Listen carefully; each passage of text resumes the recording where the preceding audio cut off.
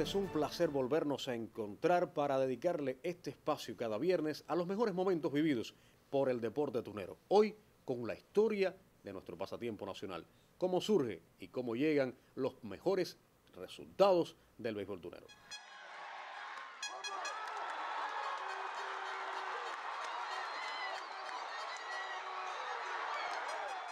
La historia cuenta que la práctica del béisbol en las tunas llegó entre 1882 y 1887. Según las investigaciones de esa lejana época, jóvenes de esta localidad que estudiaban en La Habana y conocieron el juego se reunían a practicarlo rudimentariamente en un área existente entre las actuales calles Vicente García, Colón, Ramón Orduño y 24 de febrero cerca del centro histórico. Pero la celebración de un juego en regla organizado no ocurrió hasta después de la intervención norteamericana. Parte de un contingente de marinos enviados a la entonces ciudad de Victoria de las Tunas estuvieron acampando aquí en esta ciudad y en la Plaza Cristina, donde se encuentra hoy el Parque Maceo, sirvieron para que en momentos de ocio los soldados practicaran el béisbol luego de acondicionar lo que se considera el primer campo oficial en este territorio, a partir de abril de 1898. De aquella etapa romántica del béisbol tunero, surgieron jugadores que pese al tiempo transcurrido constituyen leyendas, tales como los hermanos Dotres, Aníbal Aponte, Chiflán Clark, muchos de los cuales llegaron a brillar en los campeonatos invernales de la Liga Profesional Cubana. Tras el triunfo revolucionario de 1959 y con el deporte como derecho del pueblo, creció la actividad deportiva especialmente en el béisbol con figuras descollantes en las primeras series nacionales a partir de la temporada 77-78, cuando empezó a participar como equipo Las Tunas. El triunfo de la pelota libre sobre la pelota esclava representó la irrupción en el máximo espectáculo beisbolero de la isla de atletas de la talla de Eliezer Velázquez, Gregorio Pérez, Asterio Saldívar, Eduardo Tiburón Morales, Jorge Causillo, Pedro Tanis y Roldán Guillén, quienes vistieron indistintamente las chamarretas de granjeros, mineros, cafetaleros, incluso un tunero, Santiago Scott, tuvo la oportunidad de integrar aquellas selecciones de industriales que se titularon en nuestras primeras series nacionales.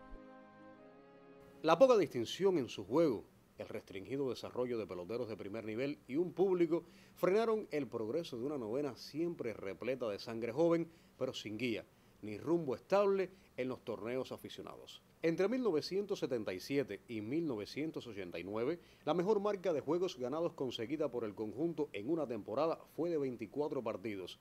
En la temporada del 84 al 85. En cambio, el pico más alto de fracasos escalaba los 56 desafíos.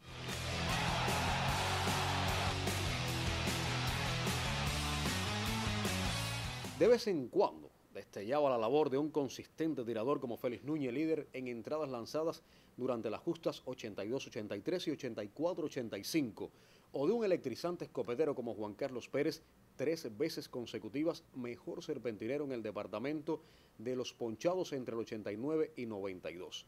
En otras ocasiones surgía un longevo trabajador como José Miguel Báez, líder en lechadas en lides del 93 al 94, o un extraordinario bateador como Don Hermidelio Urrutia, campeón de los jonroneros en el 89-90 con 20 y en el 90-91 con 16.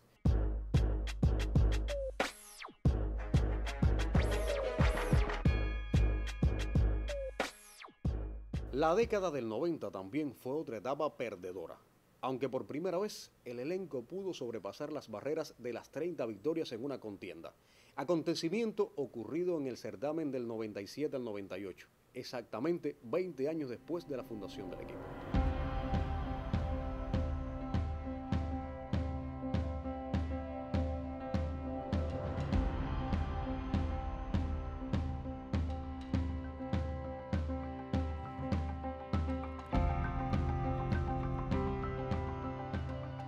En una hazaña sin precedentes, el elenco obtuvo su récord histórico de victorias para ese momento con 44 y se emplazaron por segunda ocasión en su trayectoria un punto por debajo del escalón número 10. No fue hasta la 46 Series Nacional, año 2006-2007, en el cual hizo realidad la aspiración suprema de regalarle a su afición un boleto para la postemporada, ganando 50 juegos con 40 derrotas. Anteriormente, los tuneros ocupaban puestos sotaneros. El elenco que logró esta hazaña en Ciego de Ávila, liderado por Don Hermidelio Urrutia, tenía en su plantilla a Yusisley Flores, Jenier Velázquez, Juan Carlos Pedroso, Daniel Castro, Jordani Salarcón, Amaury Suárez, Alexander Guerrero, Jordan Batista, Osmani Urrutia, Jordanis Skull, Andrés Kiala, Henry Urrutia, Jorge Johnson, Ubisney Bermúdez, Damichel González, Joelquis Cruz, Joandri Molina, Wilber Verdesia, Dael Mejías, José Santana, Jesús Guerra, Johnny Boyce, Osdani Montero, Ángel Leiva, Jordan Calaña, Junieski Larduet, Alain Cortés, entre otros. Al realizar esta hazaña, los primeros leñadores el colega Pavel García le realizó un documental aquí en Tunas Visión que lo tituló Soñar en Grande. Los buenos del país. Danel, le tira y conecta a Rolly por encima de segunda, agita al centerfield. A batear Juan Carlos Pedroso. Aquí viene el lanzamiento, le tira conecta un batazo alto, largo por el field, se va y ojo que te vieron ir. Honrón de Juan Carlos Pedroso. Número 14, Juan Carlos Pedroso. Primera base. Bueno, este, ya en el, a medida que, que comenzaron los años, eh, el paso de los juveniles a, la serie nacional no es fácil, más yo que, que mi constitución física tenía que, que ser el Luber, ¿no? Pero bueno, supe imponerme ya en mi segunda serie, pensé ya que yo podía y, y en ayuda de mis entrenadores ya di mis pasos ya como Luber en mi segunda serie nacional. Como se sabe, desde hace algunos años ya las tunas vienen subiendo y prueba de ello fue lo que hicieron el año pasado. Que se cayeron al final, es verdad, pero tenían la clasificación casi en sus manos. Pienso que es un equipo que ha mejorado mucho, la pelota ha mejorado mucho aquí. En el aspecto ofensivo tienen muy buen equipo. El picheo va mejorando también y no es de sorprenderse que en algún momento ya las Tunas puedan lograr una clasificación. Estadio repleto de aficionados. Número uno, Daniel Castro, bateador designado. Se ha mejorado la defensa. Porque yo en el Sion no era tan buena la defensa. Y entonces la segunda se ha redondeado ahora. ¿Se siente mejor en esta posición? Es mejor en esta posición. Es más calmado. Es más sencillo jugar segunda que Sion. Osmani Urrutia, jardinero derecho.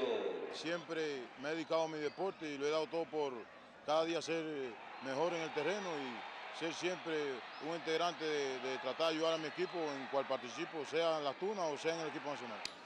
Pienso que como se está jugando, con la cohesión que se está jugando y con el amor que se está jugando en el terreno, yo pienso que este es el año de, clasificación de las tunas.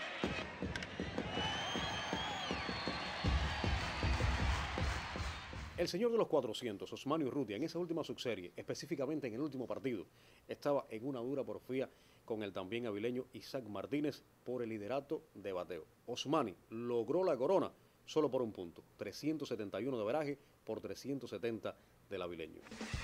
Osmani Urrutia le conecta batazo alto, largo por el center field, que se va. Ojo, que se vieron ir.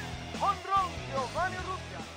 Otros que se destacaron en el orden individual en esa temporada clasificatoria fue Andrés Kiala con 8 triples y Ubisney Bermúdez fue el que más trabajó, 133 innings lanzados. Ya en la postemporada, la presión, la falta de conocimiento para jugar a este nivel le pasó factura a los pupilos de Hermidelio Rutia. Enfrentaron a un Villaglara bajo las órdenes del polémico Víctor Mesa y en este playoff de 5 al mejor de 3, los azucareros se llevaron la victoria. Pero también decide dar el Castro. Aquí Tamayo acaba de decidir frente a Industriales que se queda el campo.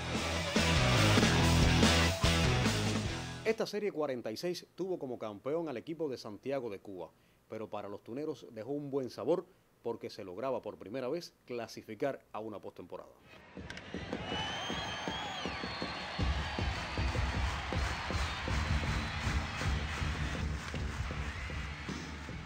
Después de esta hazaña, fueron otros directores los que estuvieron al frente del equipo. Juan Miguel Gordo, Ángel Sosa, pero llegó Pablo Civil, el leñador mayor a la Serie 57, Por primera vez llegaban a una final ante unos alazanes granmenses liderados por Alfredo de Espaine y en el último partido lograron la corona. Se quedaron con el buen sabor. Ya estaban los leñadores en una final, pero no fue hasta las 58 cuando levantaron el trofeo dejando a unos leopardos azucareros de Villa Clara en sus predios sin opciones al título. Las Tunas ya era campeón. Sobre el campeonato, sobre el título y el documental regresaremos la próxima semana. De esta manera, estamos despidiendo nuestro programa Momentos. Esperamos que hayan vivido y disfrutado la historia del béisbol en nuestra provincia, los primeros triunfos, los primeros logros, pero el título se lo ofreceremos el próximo viernes. Hasta entonces, que pasen excelentes jornadas.